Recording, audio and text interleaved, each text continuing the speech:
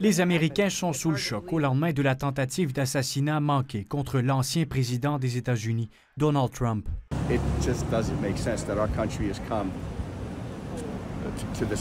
C'est insensé que notre pays en soit rendu là, mentionne un homme qui est retourné sur le site du rassemblement dimanche pour tenter de comprendre ce qui a bien pu se passer. Le présumé tireur, Thomas Matthew Crooks, 20 ans, il était enregistré comme électeur républicain sur les listes électorales malgré un don effectué en 2021 à une association proche du camp démocrate. Des policiers ont scruté à la loupe le quartier du jeune homme, découvrant des explosifs dans son véhicule et sa résidence dimanche. Maintenant, le questionnement demeure. Comment un ancien président a-t-il pu être atteint par balle durant un rassemblement partisan?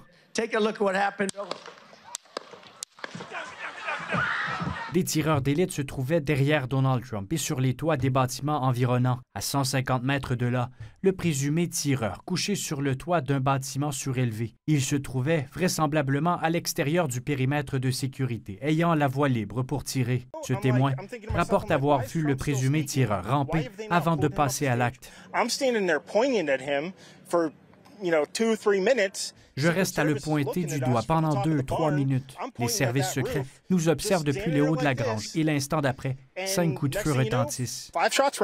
Au total, les coups de feu ont atteint l'ex-président de 78 ans à l'oreille, tué un homme de 50 ans, un ancien chef des pompiers de la région, et blessé deux autres personnes. Le tireur est pourtant rapidement localisé et est abattu.